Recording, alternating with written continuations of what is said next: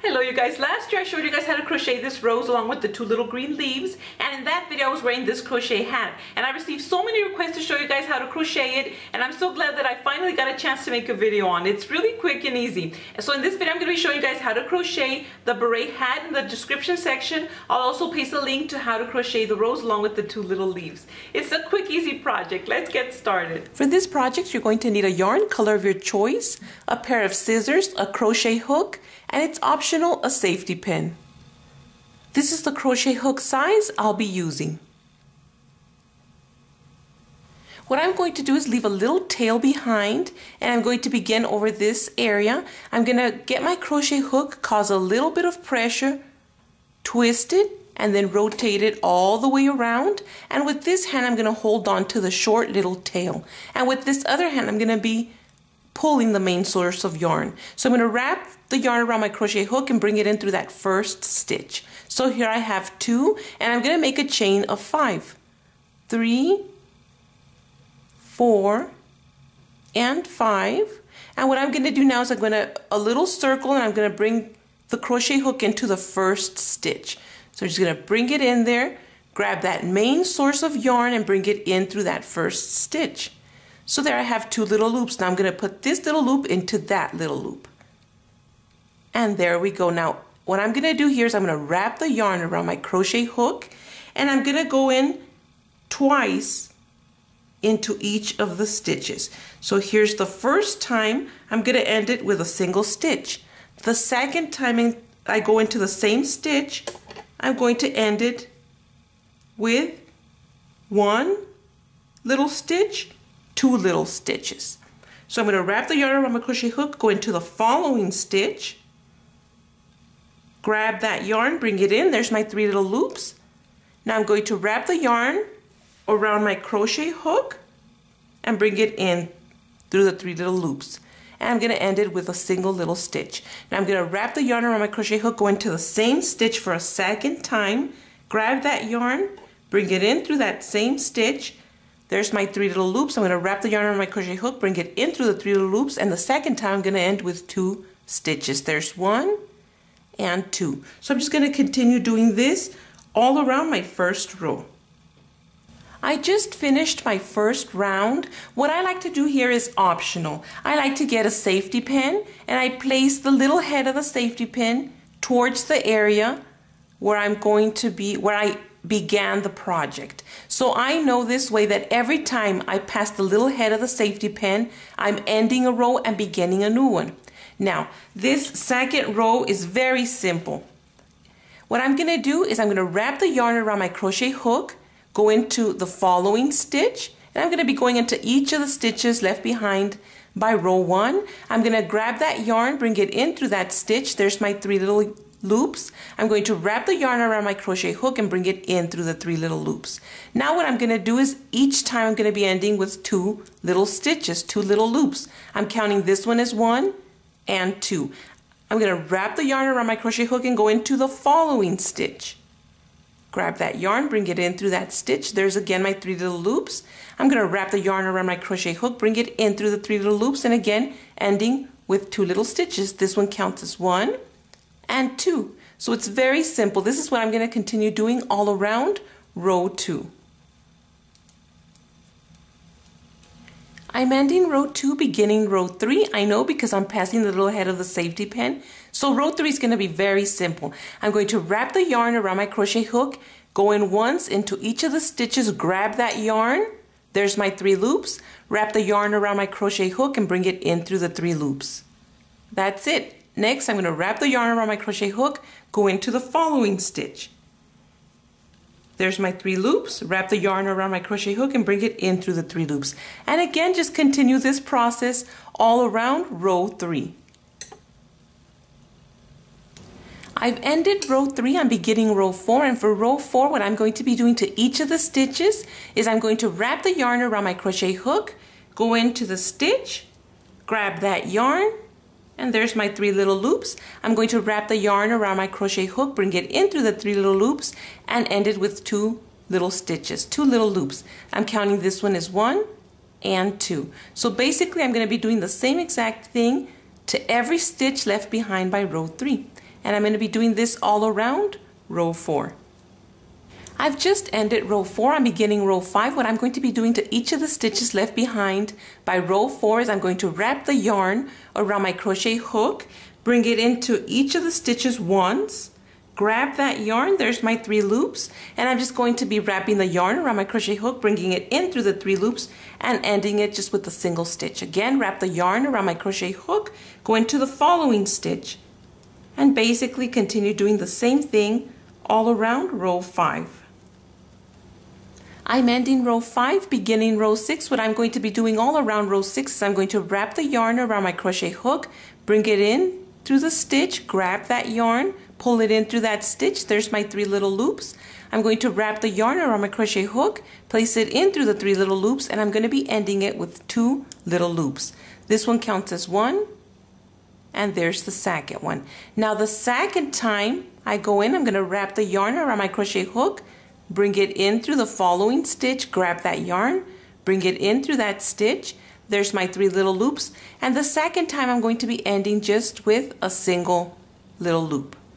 The third time, I'm going to follow the same pattern. Wrap the yarn around my crochet hook, bring it in through the following stitch, pull it through that stitch, there's my three loops, wrap the yarn around my crochet hook, bring it in through the three little loops, and ending it with two little loops. This one counts as one, two. The following one, I'm going to be ending just with a single little loop, and then I'm just going to continue this pattern. I'm ending row 6, beginning row 7. What I'm going to do to each of the stitches left behind by row 6 is I'm going to wrap the yarn around my crochet hook, bring it in through the stitch, grab that yarn.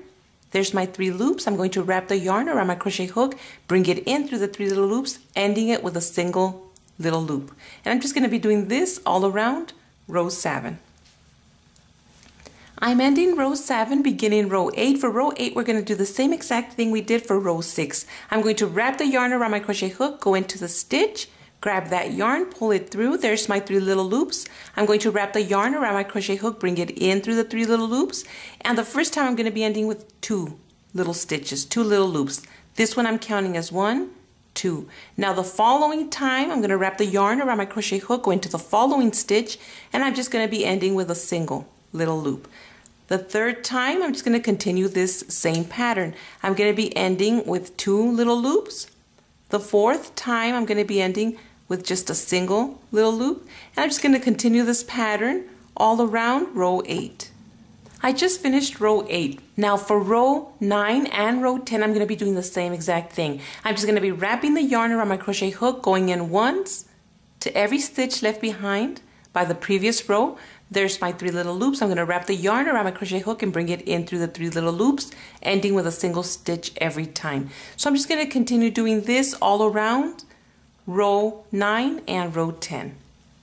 Here's what the top of your hat should look like once you're done with your 10 rows. Now starting row 11 is going to be our first tightening row. We're going to begin tightening little by little. For row 11, what I'm going to be doing all around is following this pattern. I'm going to wrap the yarn around my crochet hook, bring it in through the stitch, grab that yarn, and very simply just bring it in the same way we've been doing. So I'm going to go in to three of my stitches exactly the same way. And here's my third one. Now the fourth one, what I'm going to be doing is I'm going to wrap the yarn around my crochet hook, bring it in, through the stitch, grab that yarn. Again, go into the following stitch, grab that yarn, and there I have four little loops. Now I'm going to wrap the yarn around my crochet hook and bring it in through the four little loops. So this is basically the pattern I'm going to be following. The following three stitches, I'm just going to be going in once.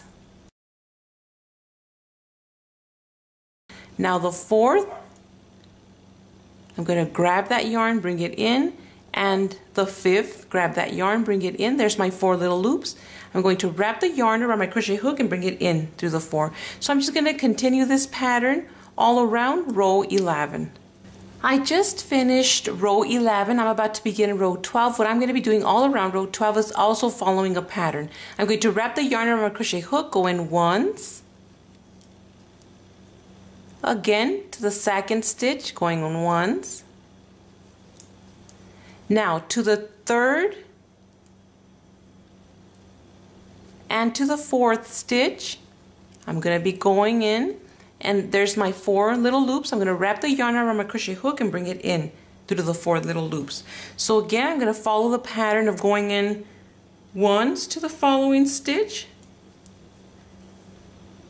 once to stitch number two. Now to stitch number three and four, I'm going to wrap the yarn around my crochet hook, go in to stitch three, grab that yarn, bring it in through stitch three, go directly into stitch four, grab that yarn, and there's my four little loops. I'm going to wrap the yarn around my crochet hook and bring it in through the four little loops. And I'm just going to continue with this pattern all around row 12.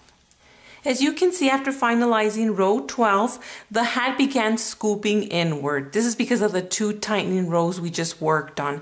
Now if you're going to want to add a second tone color, this is the time to add it before beginning row 13. To add the second color, I'm just going to make my loop bigger and I'm just going to cut around this area. Now I'm going to align the second tone color I'm going to be using and wrap it around my finger, creating a loop. Now in between this loop, I'm going to grab the two little colors, bring them in through that little loop, and I'm just going to pull. And with these two little ends, I'm just going to make a little knot.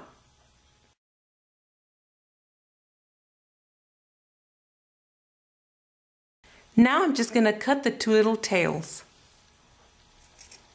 Once you've binded together your two tones in the same color, it's time to begin row 13. Very simply, I'm going to wrap the yarn around my crochet hook, place it in through the stitch, grab that yarn, pull it through. There's my three little loops. I'm going to wrap the yarn around my crochet hook and bring it in through the three little loops. I'm going to wrap the yarn around my crochet hook, go into the following stitch, and just continue with the same pattern all around row 13. I just finished row 13. I'm about to begin row 14, but I wanted to show you guys the unleveling of the two tones. So this is where you'd be adding the flower later on. I'm going to be wrapping the yarn around my crochet hook for row 14. I'm going to be placing it into the stitch, grabbing that yarn. There's my three loops, wrapping the yarn around my crochet hook and going in through the three loops. And I'm going to be doing this six times. Now the seventh time I'm going to wrap the yarn around my crochet hook, go in through the seventh stitch, grab that yarn, pull it through, go directly in to stitch 8, grab that yarn, bring it in through, there's my 4 loops. I'm going to wrap the yarn around my crochet hook and bring it in through the 3 loops. So I'm just going to continue this pattern. I'm going to go in to the following 6. Now for the 7th, I'm going to wrap the yarn around my crochet hook, go in to the seventh, grab that yarn, pull it through. I'm going to go directly into stitch number eight, grab that yarn, pull it through. There's my four little loops. Wrap the yarn around my crochet hook and bring it in. So I'm just going to continue with this pattern all around row 14. I've just completed row 14. I'm about to begin row 15. What I'm going to be doing to each of the stitches left behind by row 14 is I'm going to wrap the yarn around my crochet hook, go in once, pull the yarn through. There's my three loops Wrap the yarn around my crochet hook and bring it in through the three loops, ending it with a single stitch. And I'm just going to be doing this all around row 15. I just ended row 15. I'm about to begin row 16. It's basically going to be the same exact thing we did for row 14. I'm going to go in to the six stitches. There's one,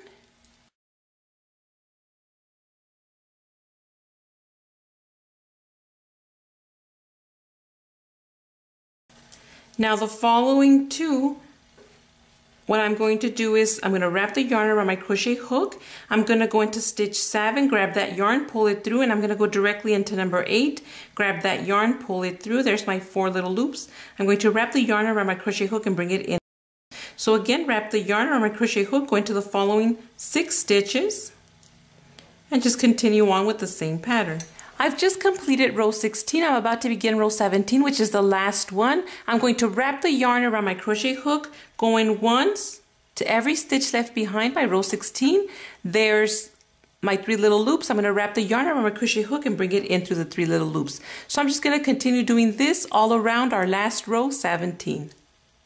I've just completed my final row 17. What I'm going to do to finalize my hat is I'm not going to wrap the yarn around my crochet hook. I'm going to go directly into the following stitch, grab that yarn and pull it through the last stitch. So now I'm going to flip it to the back. Once you've flipped your little hat to the back side, what you're going to do is you're going to find any stitch of your choice, pull your crochet hook in through there, grab the yarn and bring it in through there and now just bring it in to the last little stitch. And you're going to pull it and now you're just going to cut this area and make a knot. Or you can also finish off your project however you'd like.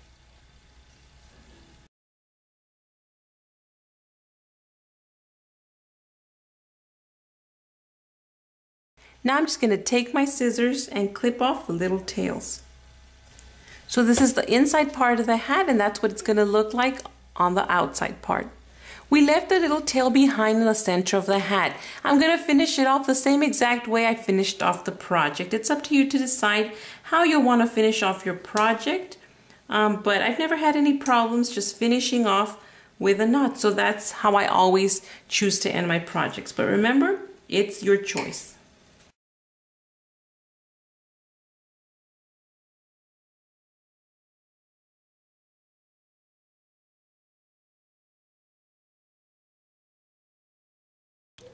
So this is what your hat should look like from the outer part and this is what it looks like from the inside part. Now this is the area where we're going to be sewing on the rose along with the two little green leaves. What I like to do is I like to sew on one of the leaves coming in sideways and then I take my other leaf and I also sew it in coming in sideways, leaving a space in between so that I can sew the rose in that area. So now I take my rose and I sew it on over that area just using regular thread in similar color to the leaves. For example, I use a light green color and then for the rose, a lavender color. But basically that's it. This is a very easy rose and leaves project to create. I will be pasting the link in the information bar so you guys could finish off your little hat with this rose and the two little leaves. I hope you guys enjoyed this tutorial and really give these beret hats a try. Take care and I'll see you next time. Bye!